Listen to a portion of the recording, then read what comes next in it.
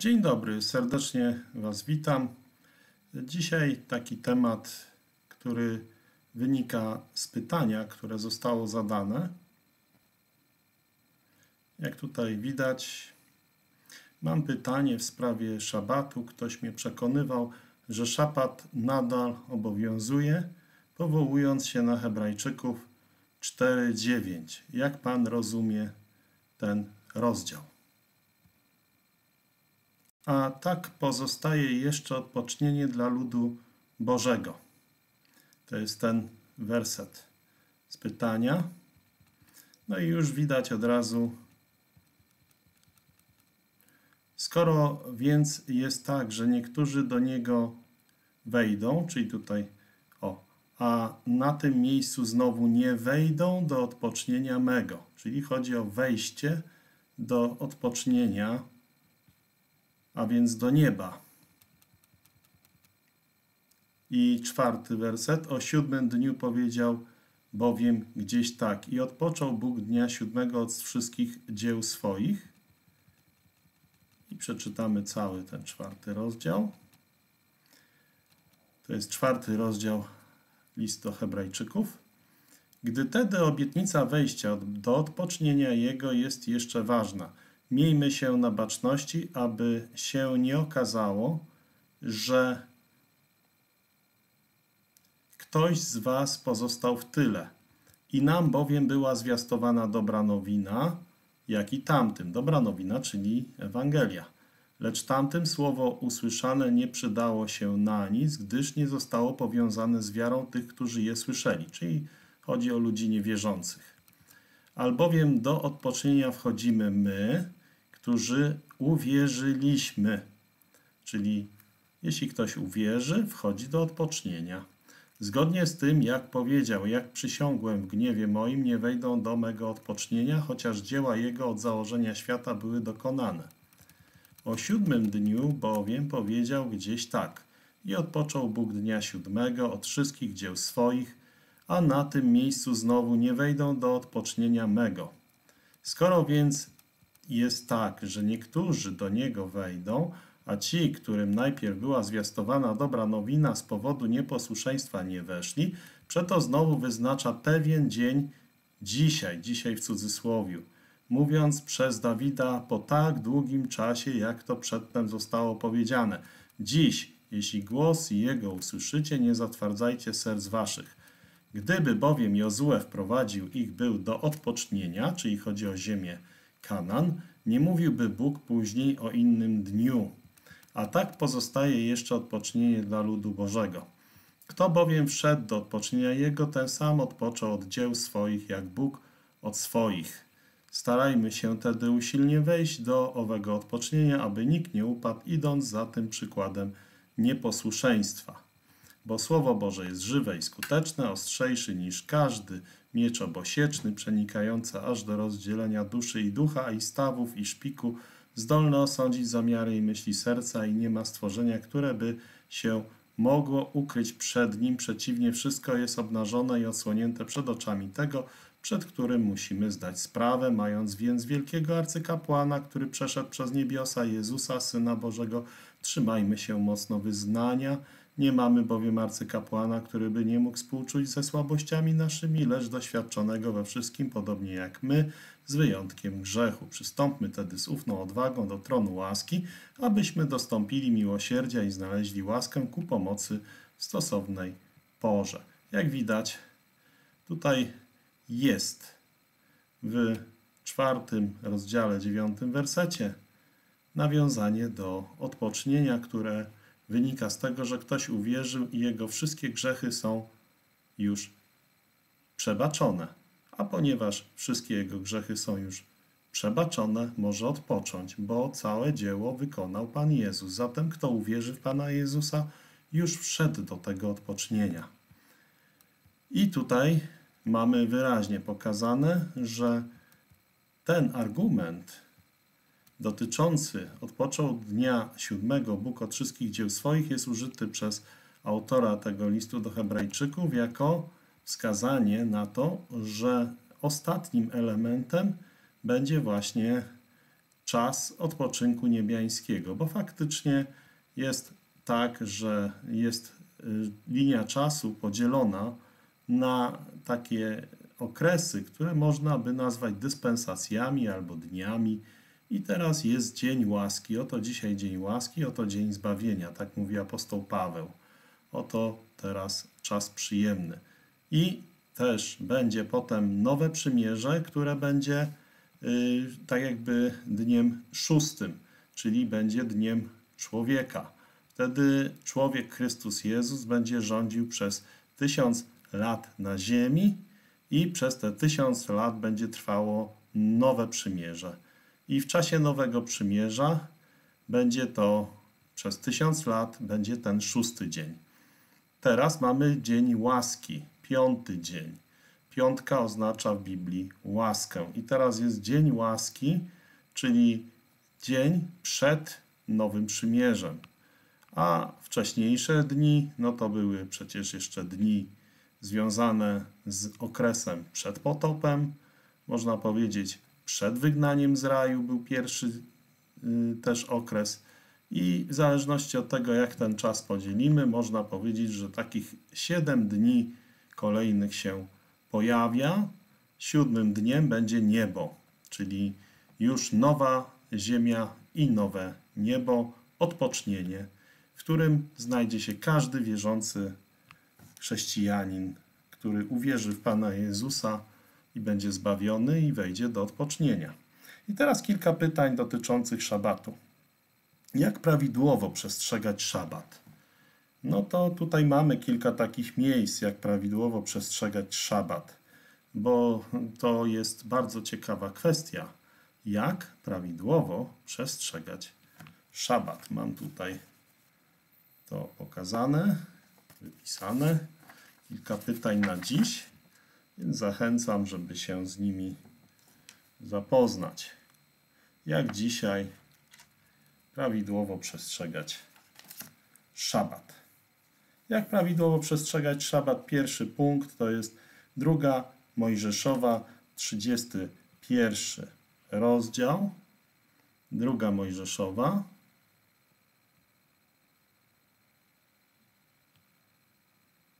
Trzydziesty pierwszy rozdział.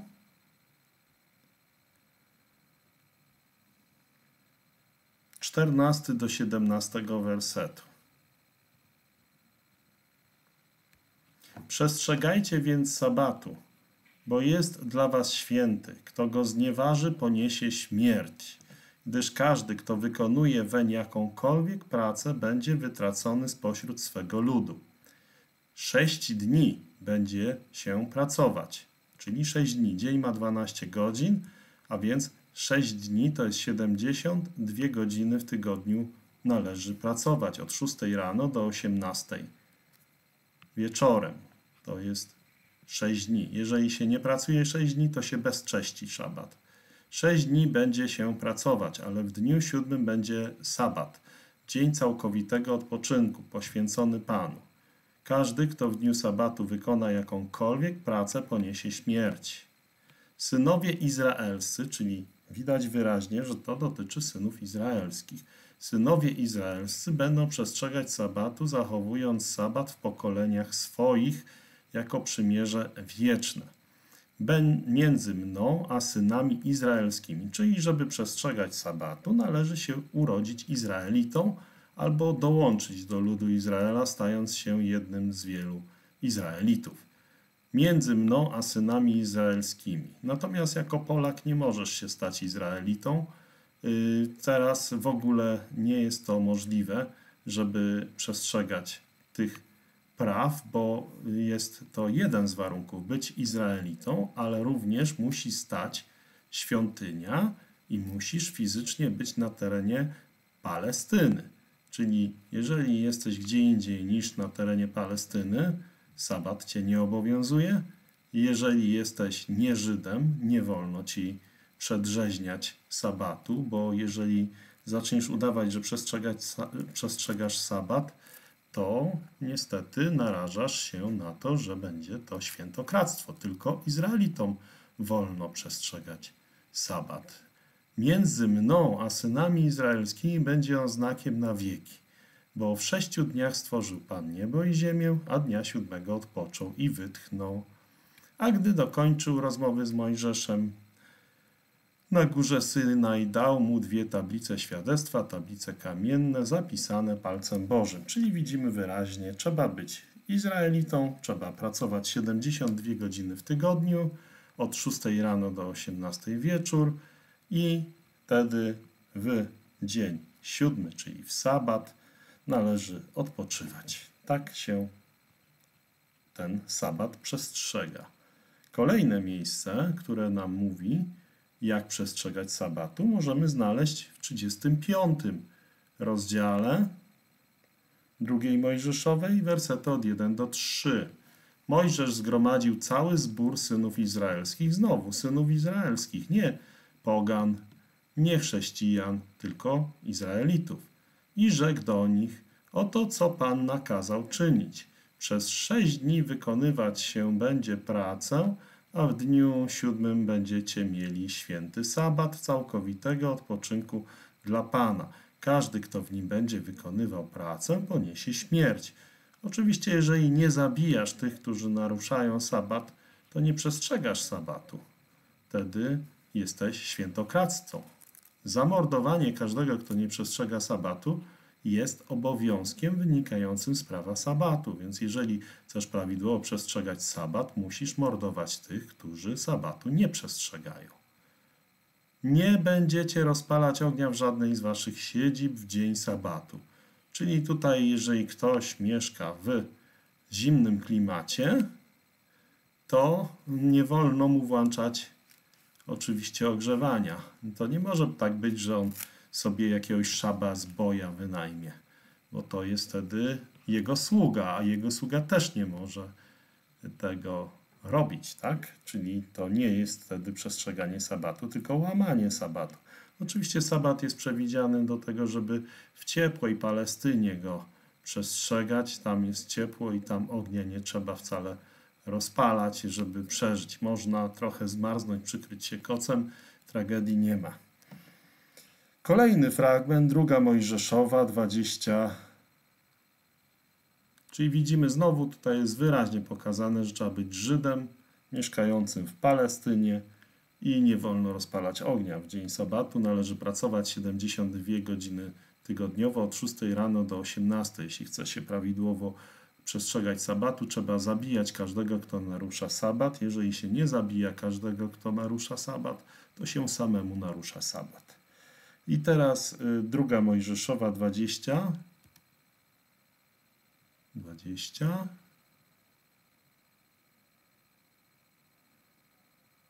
Od 8 do 10. Pamiętaj o dniu sabatu, aby go święcić. Sześć dni będziesz pracował i wykonywał wszelką swoją pracę, ale siódmego dnia jest sabat Pana, Boga Twego. Nie będziesz wykonywał żadnej pracy, ani ty, ani twój syn, ani twoja córka, ani twój sługa, ani twoja służebnica, ani twoje bydło, ani obcy przybysz, który mieszka w twoich bramach. Czyli nie możesz wtedy w żaden sposób korzystać z pracy innych osób, tak? Bo tutaj jest wyraźnie napisane, że sługa nie może pracować, syn nie może pracować, córka twoja nie może pracować, twoje bydło nie może pracować. Yy, bydło, no to to jest też yy, wiadomo, wszelkie urządzenia yy, gospodarstwa domowego, bo to bydło tę funkcję spełniało w tamtym czasie. Po prostu to nie jest tak, że sobie ustawisz automatyczną jakąś rzecz i ona ci coś tam za ciebie zrobi. Nie, to jest normalne, że musisz wyłączyć lodówkę na dzień sabatu. Jeżeli masz lodówkę, ona nie może pracować w sobotę. Zamrażarka nie może pracować w sobotę, jeżeli przestrzegać masz sabatu prawidłowo. Jeżeli będzie światło się świeciło, to znaczy, że y, zatrudniasz kogoś z elektrowni, żeby ci prąd dostarczył, to łamiesz sabat, masz wyłączyć to światło. Jeżeli jest zima, no to nie możesz ogrzewać swojego mieszkania. No jeśli jest minus 40, to to cię szybko wyleczy z przedrzeźniania sabatu, bo to jest udawanie, że się przestrzega sabatu, jeżeli rozpalasz ognisko w swoim domu, jeśli włączasz ogrzewanie w swoim domu. Jeżeli wynajmujesz kogoś, żeby ci dom ogrzał, czy też jakoś przygotował jedzenie. Nie ma takiej opcji, jeśli chce się przestrzegać sabatu. No i znowu jest powtórzone, 6 dni będziesz pracował i wykonywał wszelką swoją pracę. Czyli to jest składnik tego przykazania. Na tym polega przestrzeganie sabatu, że się 72 godziny tygodniowo pracuje, bo dzień ma 12 godzin i to jest dosyć uciążliwe 12 godzin y, pracować, bo to wtedy nie wolno żadnych innych czynności w ciągu tych 12 godzin robić, tylko wykonywać swoją pracę. Na tym polega przestrzeganie sabatu w sposób prawidłowy. Druga Mojżeszowa 23:10. Druga Mojżeszowa 23 10. Przez sześć lat obsiewać będziesz ziemię swoją i zbierać jej plony. W siódmym zaś zostawisz ją odłogiem i nie uprawisz jej. Niech pożywią się z niej ubodzy Twego ludu, a tym, co pozostanie po nich, niech pożywią się zwierzęta polne. Tak też postąpisz z Twoją winnicą i z Twoim ogrodem oliwnym. Sześć dni wykonywać będziesz swoje prace, ale dnia siódmego będziesz świętował, aby wypoczął Twój wół, Twój osioł, aby wytchnął syn Twojej niewolnicy. Czyli ma, nie możesz y, robić zakupów w sobotę, tak? To jest oczywista sprawa y, i nie możesz kupować w sklepach, które są czynne w sobotę bo to znaczy, że wspierasz takich, którzy łamią sabat. Nie można takich rzeczy robić, jeśli chce się przestrzegać sabatu. Zresztą jesteś zobowiązany takie osoby zabić, prawda? Żeby przestrzegać sabatu, to się zabija wszystkich nieprzestrzegających sabatu. Więc i tak nie będzie ten sklep działał, skoro zabijesz obsługę. No chyba, że nie chcesz przestrzegać sabatu. I dalej, y, sześć dni wykonywać będziesz swoje prace, ale dnia siódmego będziesz świętował, aby wypoczął twój wół i twój osioł, aby wytchnął syn twojej niewolnicy i przychodzień, czyli uchodźca też ma.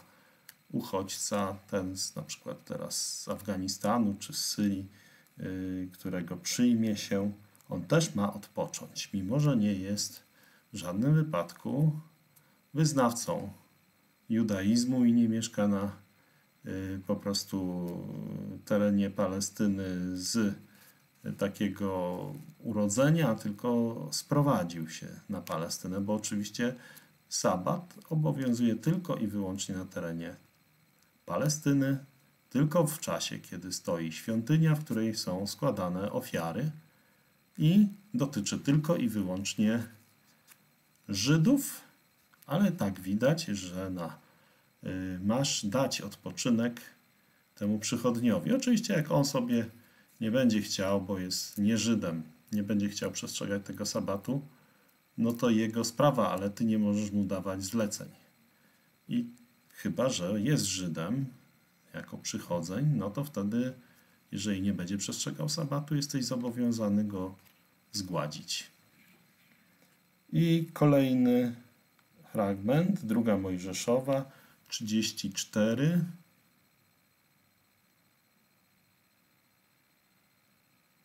Trzydzieści cztery, dwadzieścia jeden.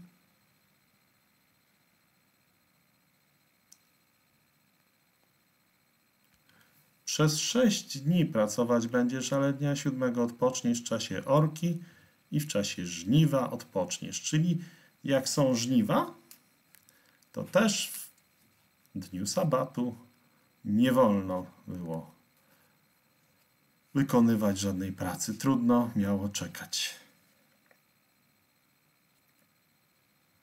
I wiadomo, jeśli ktoś chciałby w tym czasie wykonywać jakąś pracę, no to trzeba go, jeżeli to jest Żyd mieszkający na terenie Palestyny, w czasie kiedy świątynia stoi i jest z niej, w niej składane są ofiary, zgodnie z zakonem, to wtedy należy takiego zgładzić.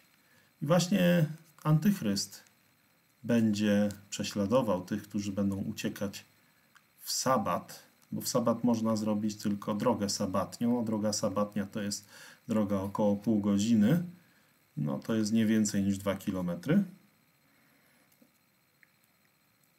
I to jest dosyć kłopotliwe taką drogę sabatnią pokonać y, w celu ucieczki, bo tacy ludzie nie będą w stanie uciec. I teraz kolejne miejsce to jest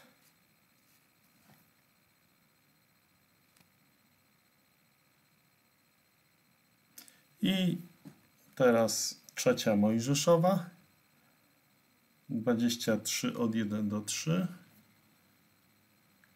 Przemówił Pan do Mojżesza tymi słowy: Mów do synów izraelskich, znowu do synów izraelskich, do synów izraelskich.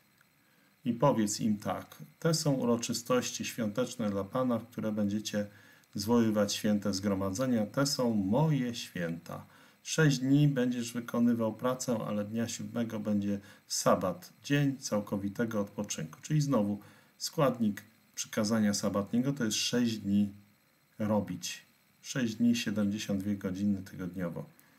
Dzień całkowitego odpoczynku, uroczyście ogłoszone święto. Żadnej pracy nie będziecie wykonywać, to jest sabat Pana we wszystkich waszych siedzibach. I jeszcze kolejna rzecz, piąta Mojżeszowa, czyli piąta Mojżeszowa, piąty rozdział rozdział, dwunasty werset. Przestrzegaj dnia sabatu, aby go święcić, jak rozkazał ci Pan, Twój Bóg. Sześć dni będziesz pracował i wykonywał wszelką Twoją pracę, ale dnia siódmego jest sabat Pana, Twojego Boga. Nie będziesz wykonywał żadnej pracy, ani Ty, ani Twój sługa, ani twój syn, ani twoja córka, ani twój sługa, ani twoja służąca, ani twój wół, ani twój osioł, ani twoje bydle, ani obcy przybysz, który mieszka w twoich bramach, aby odpoczął twój sługa i twoja służebnica, jak i ty. Pamiętaj, i tu jest bardzo ciekawe uzasadnienie, pamiętaj, że byłeś niewolnikiem w ziemi egipskiej i że Pan, Twój Bóg, wyprowadził Cię stamtąd ręką możną i ramieniem wyciągniętym. Dlatego rozkazał Ci Pan, Twój Bóg, abyś obchodził dzień sabatu. No więc ja nie byłem, nie byłem nigdy w Egipcie, nawet na wycieczce w Hurgadzie nie byłem, czy tam w innym jakimś Salamejkem, czy coś tam. A tu jest uzasadnienie, że dlatego miałby ktoś przestrzegać sabatu, bo był niewolnikiem ziemi egipskiej. I dlatego Pan Twój Bóg wyprowadził Cię stamtąd ręką możną i ramieniem wyciągniętym. Dlatego rozkazał Ci Pan, Twój Bóg, abyś obchodził dzień sabatu. Widać wyraźnie, że to dotyczy tylko i wyłącznie Izraelitów, którzy zostali wyprowadzeni z ziemi egipskiej. I nie ma to związku z ani chrześcijanami, ani z poganami. Dotyczy tylko i wyłącznie Żydów i Izraelitów. Tak więc drugie pytanie. Czy szabat nadal obowiązuje? Odpowiedź jest oczywiście jak najbardziej tak. Tak, szabat obowiązuje. Czy szabat nadal obowiązuje? Odpowiedź brzmi jak najbardziej tak, szabat nadal obowiązuje. I mamy kilka fragmentów z Nowego Testamentu. Pierwsze miejsce to jest Mateusza 5, 17, 18. Mateusza.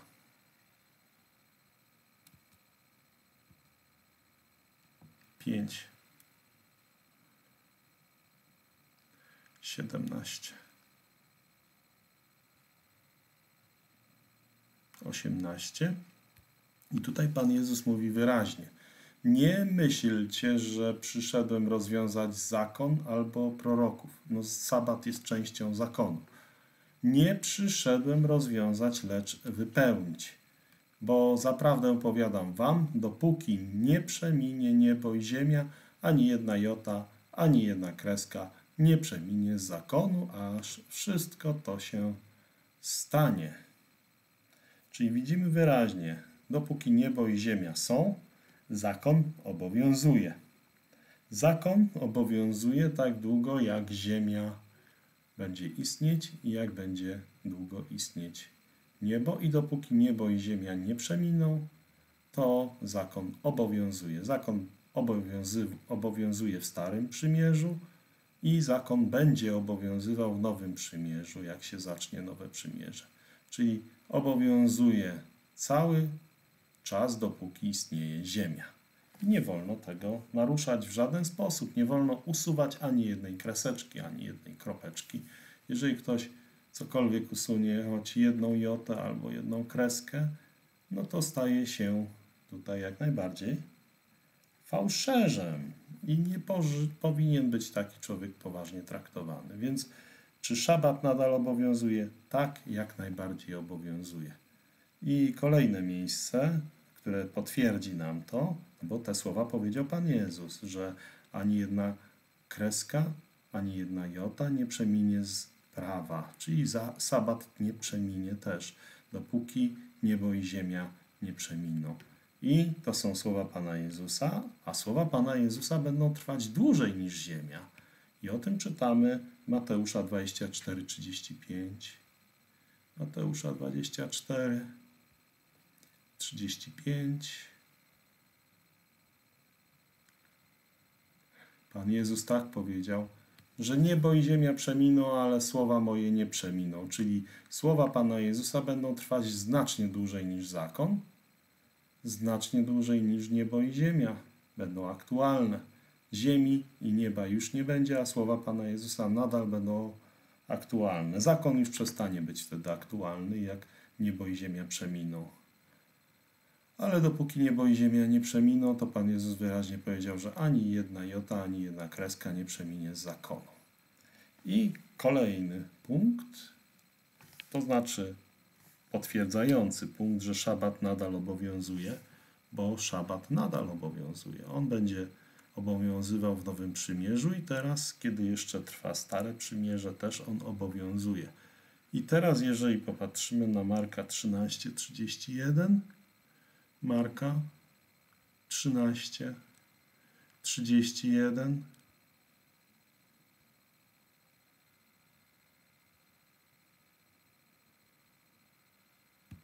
Niebo i ziemia przeminą, ale słowa moje nie przeminą. Znowu powiedział Pan Jezus, potwierdzając, że tamte słowa, że ani jedna kreska, ani jedna jota z zakonu nie przeminie, dopóki nie przeminie niebo i ziemia, też będą ważne. I to jest bardzo ważne. Łukasza 21:33 jest kolejnym punktem potwierdzającym, że sabat nadal obowiązuje. Łukasza 21, 33.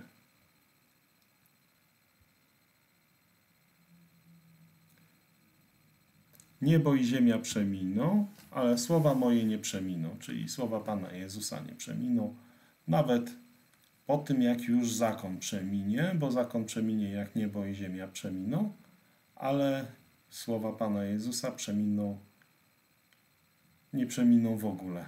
Tu jest napisane. Więc o ile zakon przeminie jak niebo i ziemia przeminą, to słowa Pana Jezusa nie przeminą nigdy, nawet jak już niebo i ziemia przeminą. Więc jest to jednoznaczna odpowiedź potwierdzająca nam, że sabat nadal obowiązuje. Tak, sabat nadal obowiązuje. Sabat jest opisany więcej niż jedną kreską jedną jotą z zakonu, więc obowiązuje, bo jeszcze niebo i ziemia nie przeminęły. I to jest bardzo ważne, żeby przejść dalej. Czy szabat obowiązuje w Nowym Przymierzu? Takie kolejne pytanie się tu rodzi. I odpowiedź brzmi jak najbardziej tak. W Nowym Przymierzu szabat będzie obowiązywał, tak samo jak w Starym Przymierzu szabat obowiązuje bo nowe przymierze jeszcze nie nastało. Nowe przymierze zacznie się po tym, jak Pan Jezus osobiście wróci na ziemię. To nie jest jeszcze teraz aktualne, bo Pan Jezus jeszcze nie wrócił na ziemię.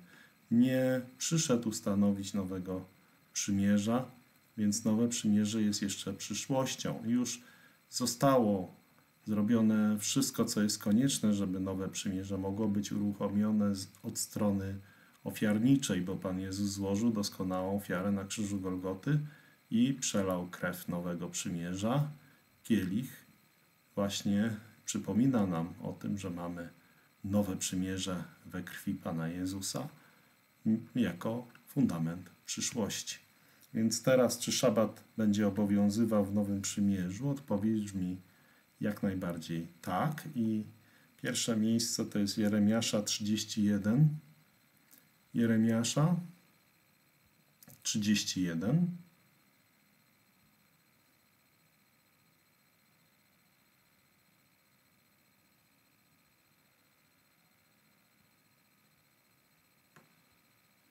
Trzydzieści jeden, trzydzieści jeden.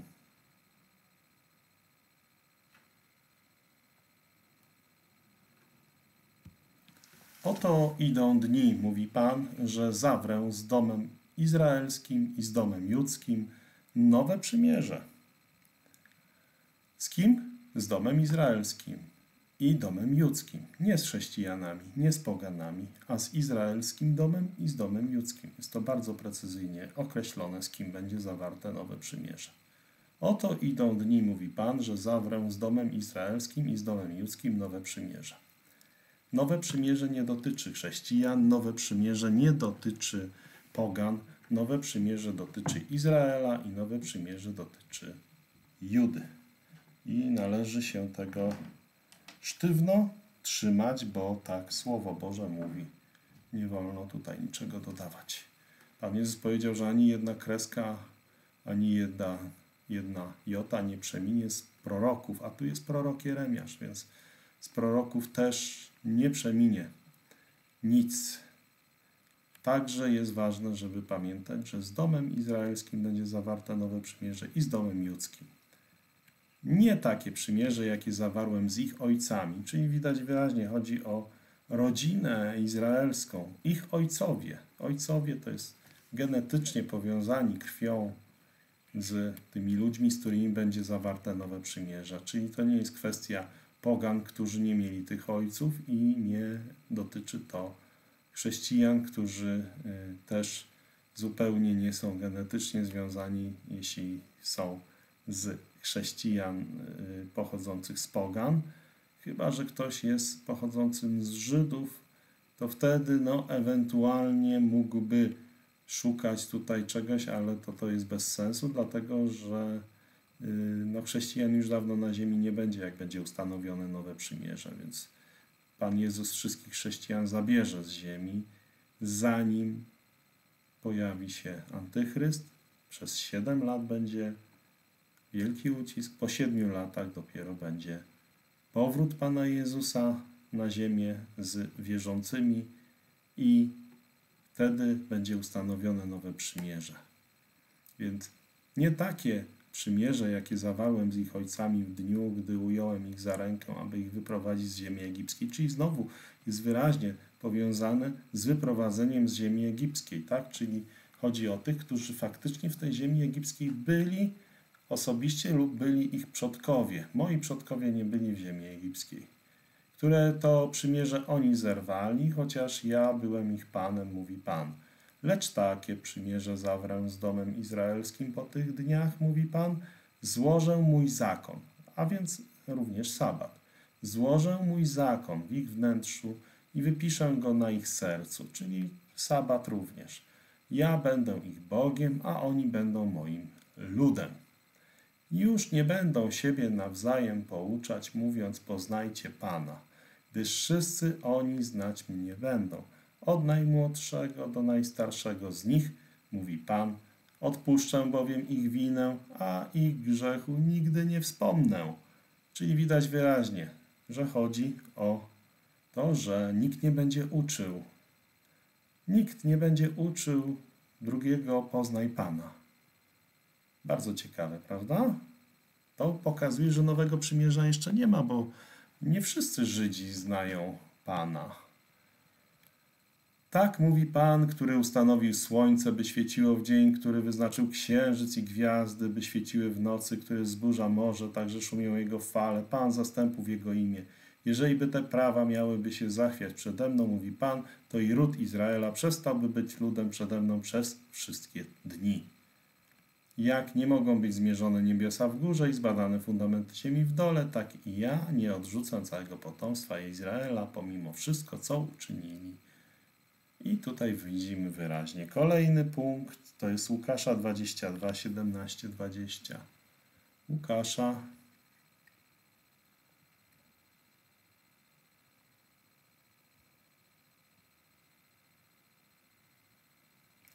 Dwadzieścia dwa.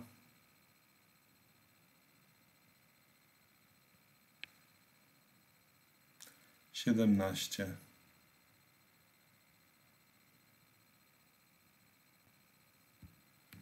I wziąwszy kielich i podziękowawszy, rzekł. Oczywiście takie podobne trochę fragmenty są też w Mateusza i w Marka, ale tam nie ma słowa nowy w tekście oryginalnym.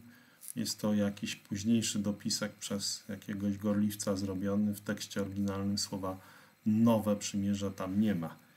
Nowe przymierze w związku z wieczerzą tylko jest tutaj w Łukasza i w 1 Koryntian 11:25. I wziąwszy kielich i podziękowawszy, rzekł: Weźcie go i rozdzielcie między sobą.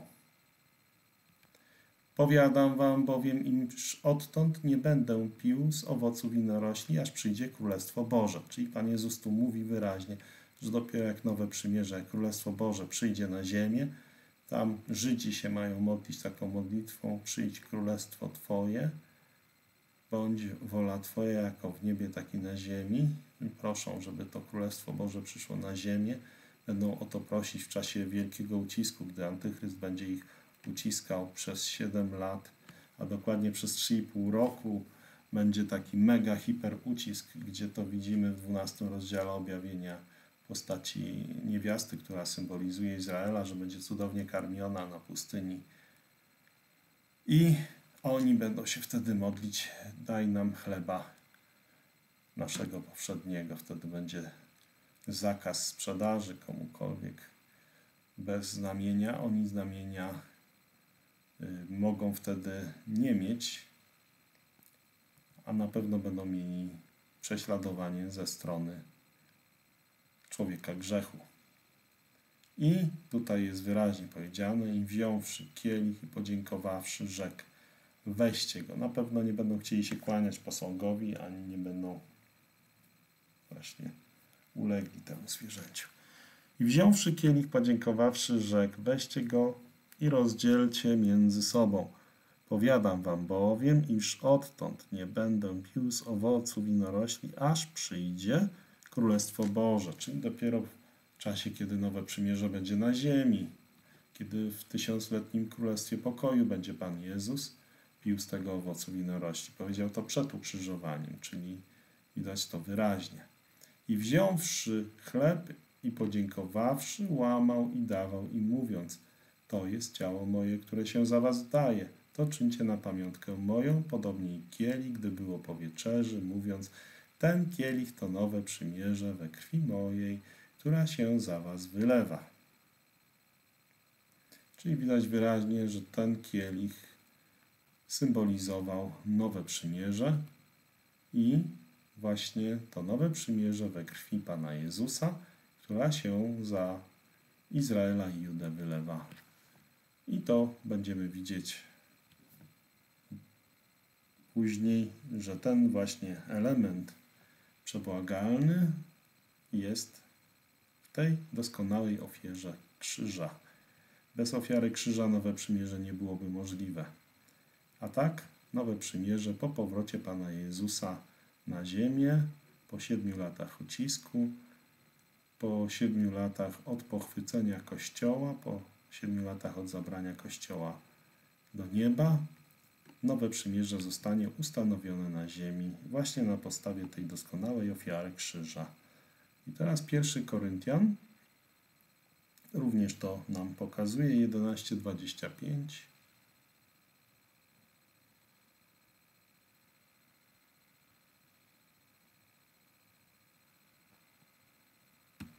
Podobnie i kielich po wieczerzy, mówiąc, ten kielich to nowe przymierze we krwi mojej, to czyńcie ilekroć pić będziecie na pamiątkę moją. Czyli widzimy wyraźnie znowu jest pokazane, że to przymierze we krwi, nowe przymierze we krwi Pana Jezusa. To nowe przymierze będzie zawarte po powrocie Pana Jezusa na ziemię, kiedy Pan Jezus przyjdzie i to widzimy w 26 wersecie. Albowiem ilekroć ten chleb jecie, a z kielicha tego pijecie śmierć pańską, zwiastujecie, aż przyjdzie. I tutaj oczywiście po Kościół on przyjdzie zabrać Kościół na 7 lat przed Nowym Przymierzem.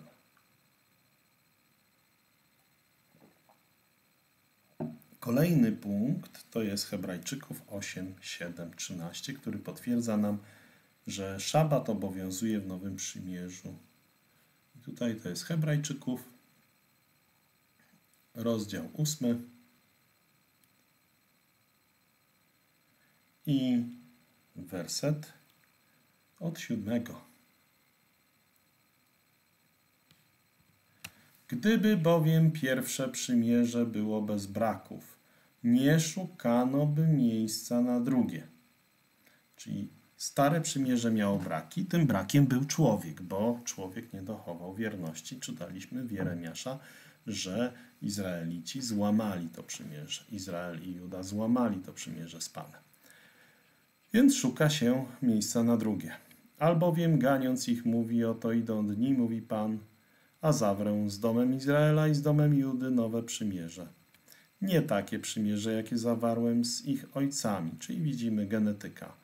Tak, Izrael i Juda. Z domem Izraela i z domem Judy. Nie z chrześcijanami, nie z poganami, tylko z domem Izraela i z domem Judy. I chodzi o tych, których ojcowie zawarli pierwsze przymierze. Nie takie przymierze, jakie zawarłem z ich ojcami w dniu, gdym ujął ich za rękę, aby ich wyprowadzić z ziemi egipskiej, ponieważ oni nie wytrwali w moim przymierzu, przeto ja nie troszczyłem się o nich, mówi Pan. Takie zaś jest przymierze, które zawrę z domem Izraela po upływie owych dni, mówi Pan. I tutaj widać, prawa moje włożę w ich umysły, czyli zakon między innymi też i na sercach wypiszę je. I będę im Bogiem, a oni będą mi ludem. I nikt nie będzie uczył swego ziomka, ani też swego brata, mówiąc poznaj Pana, bo wszyscy mnie znać będą od najmniejszego aż do największego z nich. Tak będzie w Nowym Przymierzu, że wszyscy Żydzi i Izraelici będą znali Pana. Wszyscy, od najmniejszego do największego. Nikt nie będzie prowadził żadnej ewangelizacji, bo wszyscy będą już znać wszystko. Oczywiście dzisiaj tego nie ma. Gdyż łaskawy będę na nieprawości ich, a grzechów ich nie wspomnę więcej. I dalej, gdy mówi nowe, to uznał pierwsze za przedawnione. A to, co się przedawnia i starzeje, bliskie jest zaniku. Tu nie jest napisane, że zniknęło. Kiedy Paweł pisał list do Hebrajczyków, a jeśli nie Paweł, to inny autor. W okolicach 60 roku. Niektórzy mówią, że po zburzeniu świątyni jerozolimskiej list do Hebrajczyków był napisany. Oczywiście świątynia jerozolimska jeszcze nie została do końca zburzona. Pan Jezus powiedział, że będzie zburzona nie zostanie kamień na kamieniu, ale jeszcze to proroctwo nie zostało wypełnione, bo jeszcze są cztery warstwy muru świątyni jerozolimskiej kamień na kamieniu pozostał. Cztery warstwy kamieni cztery warstwy kamieni na kamieniu. A więc proroctwo Pana Jezusa, że nie pozostanie kamień na kamieniu, jeszcze nie zostało wypełnione. I to nie jest przypadek, dlatego w Hebrajczyku jest powiedziane, że jeszcze dopóki stoi stary przybytek. No bo ten przybytek jeszcze stoi, on ma się, no nie powiem świetnie, bo jest zburzony w większości, ale jeszcze jest, tak? Jeszcze on stoi nie został zburzony. Pan Jezus powiedział wyraźnie, musi kamień na kamieniu zostać zburzony, rozwalony. I tak się stanie dopiero w czasie siedmiu lat ucisku. Tam są takie trzęsienia ziemi, że się rozpadną nawet miasta pogan w czasie tego. I dopiero wtedy ta świątynia będzie zburzona, będzie kamień na kamieniu zburzony i wtedy dopiero będzie miejsce na nowe przymierze, bo tu jest wyraźnie powiedziane, że stare jest bliskie zaniku. To nie zniknęło, czyli sabat w Starym Przymierzu obowiązuje, Stare Przymierze jeszcze trwa, dopóki jest przybytek, a jest jeszcze przybytek, cztery, cztery warstwy kamieni na kamieniu jeszcze są. I stare przymierze jeszcze trwa, ono jest bliskie zaniku, ale jeszcze nie zniknęło. Nic się od 60 roku, czy tam 70 roku yy, nie stało takiego, żeby ono znikło, tak? Więc ono jest bliskie zaniku. Nowe przymierze jeszcze nie nastało, ono jest przyszłością. I w Nowym Przymierzu też sabat będzie obowiązywać, bo tutaj wyraźnie widzimy, że prawa moje włożę w ich umysły. Zakon będzie włożony w sercach. I w tym jest też sabat. To wyraźnie widać. I wystarczy zobaczyć w miejsce, gdzie jest opisane nowe przymierze, które będzie dopiero po siedmiu latach ucisku, siedem lat po pochwyceniu Kościoła. To nowe przymierze będzie wprowadzone na ziemi i ono jest opisane m.in. w 46 rozdziale Księgi Ezechiela.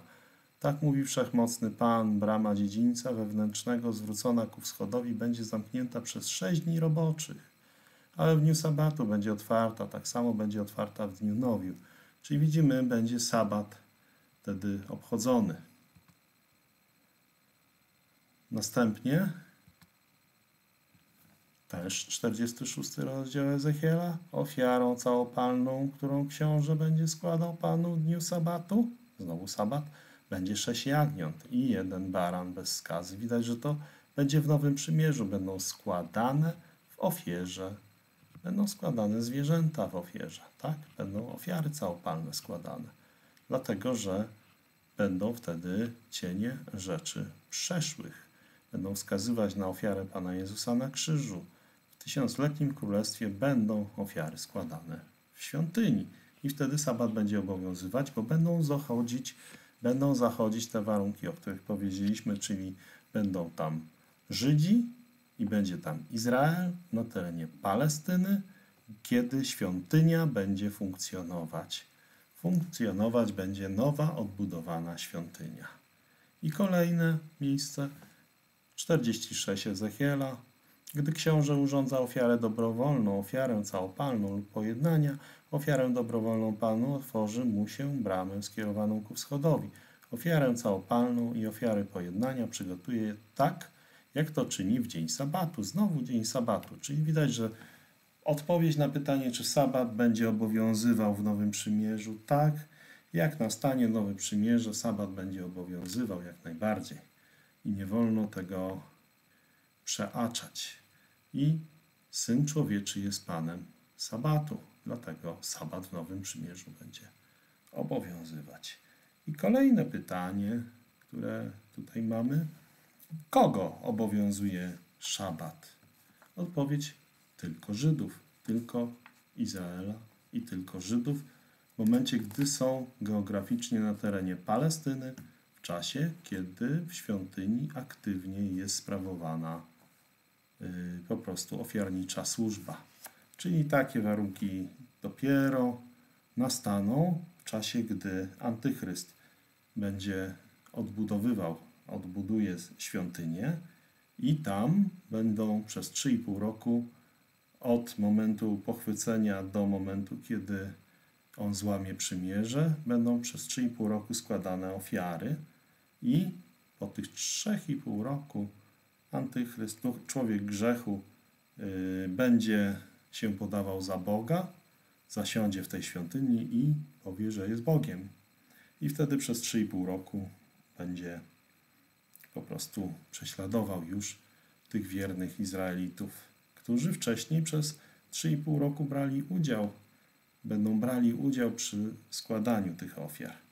I potem to jest końcówka Starego Przymierza, a potem, jak będzie nowe przymierze, no to w nowym przymierzu będzie tak, że również będą te warunki, że będą Żydzi i Izraelici na terenie Palestyny i będzie wznowiony kult świątynny. To widzieliśmy z Ezechiela 46 rozdział.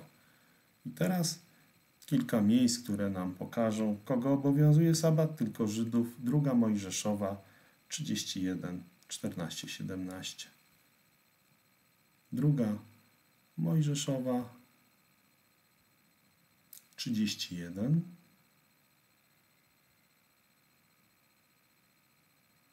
Czternaście, siedemnaście. Pamiętajmy, że z zakonu, dopóki niebo i ziemia nie przeminie, nie może przepaść ani jedna kreska, ani jedna jota.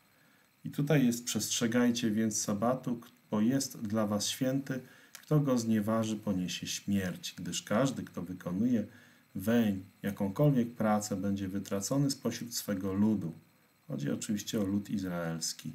Sześć dni będzie się pracować, ale w dniu siódmym będzie sabat, dzień całkowitego odpoczynku poświęcony Panu. Czyli widać wyraźnie, 72 godziny tygodniowo należy pracować Izraelicie, żeby ten sabat przestrzegał. Każdy, kto w dniu sabatu wykona jakąkolwiek pracę, poniesie śmierć. Jest obowiązek zadania śmierci tym, którzy tego sabatu nie przestrzegają. Synowie izraelscy będą przestrzegać sabatu, zachowując sabat w pokoleniach swoich jako przymierze wieczne. Między mną a synami izraelskimi będzie on znakiem na wieki, bo w sześciu dniach stworzył Pan niebo i ziemię, a dnia siódmego odpoczął i wytchnął.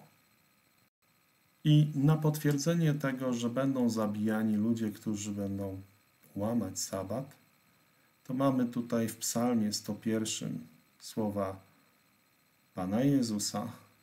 Każdego ranka tępić będę wszystkich bezbożnych kraju.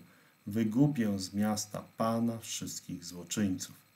To będzie w Nowym Przymierzu. Każdy, kto nie będzie przestrzegał sabatu, będzie zabijany. I to będzie zabijany przez samego Pana Jezusa. Nie ma tutaj żadnej opcji. Kolejne miejsce, które potwierdza, że sabat obowiązuje tylko Żydów, to jest Księga Wyjścia, 35 rozdział, pierwszy do trzeciego wersetu. Mojżesz zgromadził cały zbór synów izraelskich i rzekł do nich, oto co Pan nakazał czynić. Przez sześć dni wykonywać będzie się będzie pracę, czyli 72 godziny tygodniowo, 6 dni, bo dzień ma 12 godzin, a w dniu siódmym będziecie mieli święty sabat całkowitego odpoczynku dla Pana. Każdy, kto w nim będzie wykonywał pracę, poniesie śmierć. To nie jest opcja, to jest obowiązek. Uśmiercić każdego, kto nie przestrzega sabatu. Inaczej się samemu sabatu nie przestrzega, jeśli się nie uśmierca tych, którzy sabat naruszają.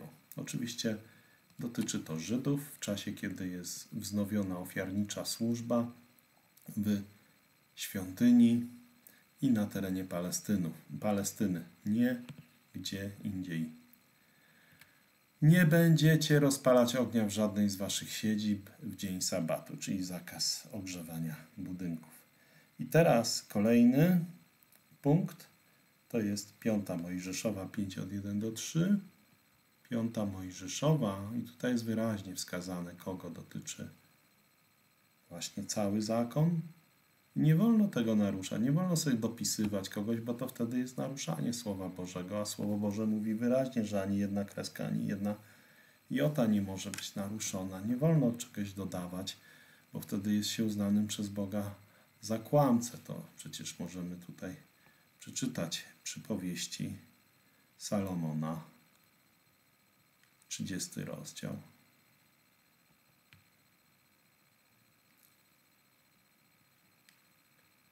I tu są wyraźnie napisane. O, każde słowo Pana jest prawdziwe. To jest piąty werset 30 rozdziału przypowieści. On jest tarczą dla tych, którzy mu ufają. Nie dodawaj nic do jego słów, aby cię nie zganił i nie uznał za kłamcę. A jak wiemy, każdy kłamca trafi do jeziora ognia i siarki.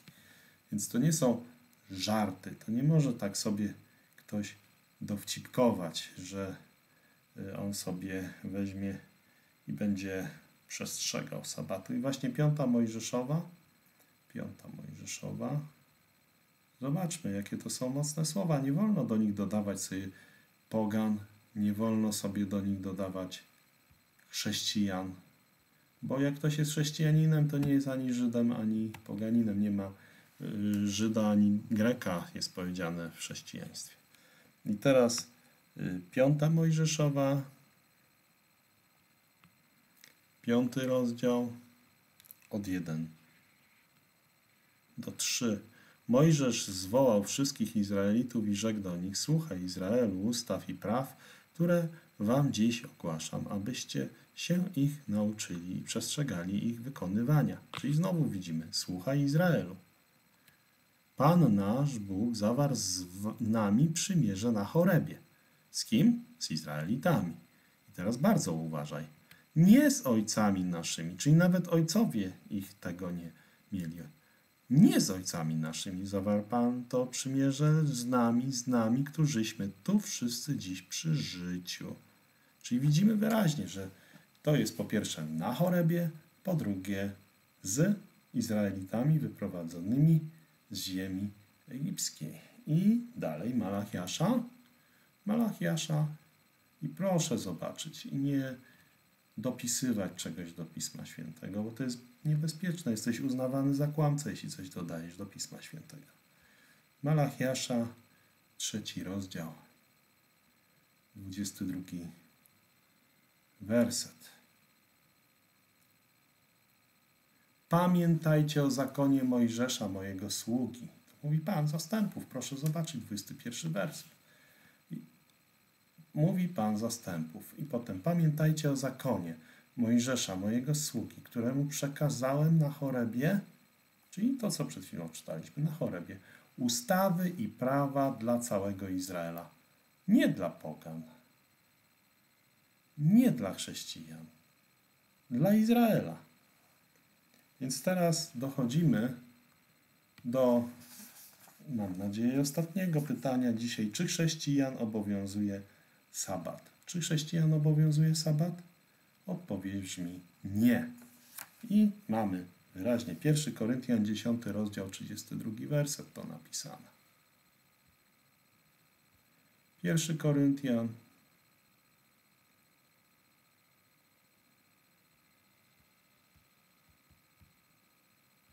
Dziesiąty rozdział,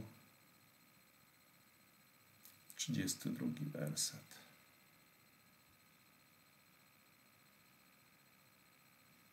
Nie dawajcie zgorszenia ani Żydom, ani Grekom, ani zborowi Bożemu.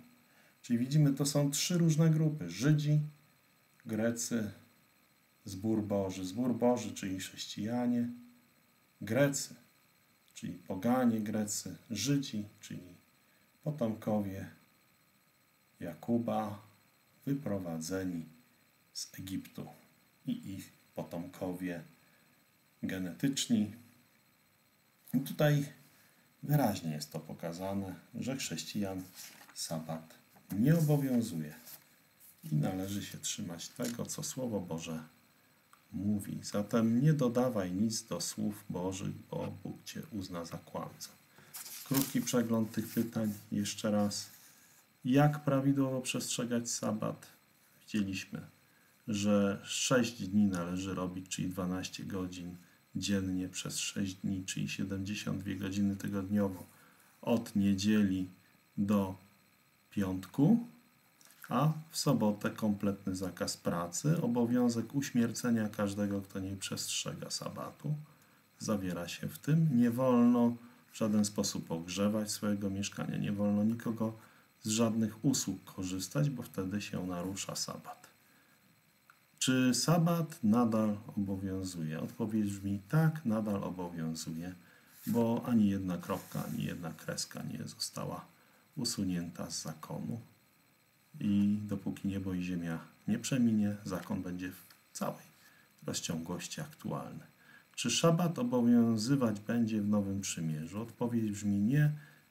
Można inaczej tego powiedzieć niż to, że nie będzie naruszony sabat. Czyli sabat będzie w całej rozciągłości obowiązywał w Nowym Przymierzu. A więc Nowe Przymierze zawarte będzie 7 lat po ucisku, 7 yy, lat po pochwyceniu, będzie po siedmioletnim ucisku nowe przymierze zawarte, jak Pan Jezus wróci na ziemię, jak Pan Jezus osobiście na ziemi się pojawi, Jego nogi dotkną Góry Oliwnej i wtedy zaprowadzi nowe przymierze z Izraelem i Judą. A więc w tym nowym przymierzu, jak czytaliśmy innymi w księdze Ezechiela, 46 rozdział, będzie jak najbardziej obowiązywać w nowym przymierzu sabat. I w starym przymierzu też sabat obowiązuje. Stare przymierze jest bliskie zaniku, ale jeszcze nie zniknęło. Tak mówi list do Hebrajczyków, 8 rozdział, 13 werset. Bliskie jest zaniku. A co jest bliskie zaniku, jeszcze nie zniknęło. Kogo obowiązuje sabat? Tylko Żydów, tylko w czasie, gdy mieszkają na terenie Palestyny, tylko w czasie, kiedy jest służba ofiarnicza w jerozolimskiej świątyni. Pierwszą rzecz, którą Żyd ma zrobić w zakresie zakonu, ma doprowadzić do tego, żeby służba ofiarnicza była realizowana w świątyni.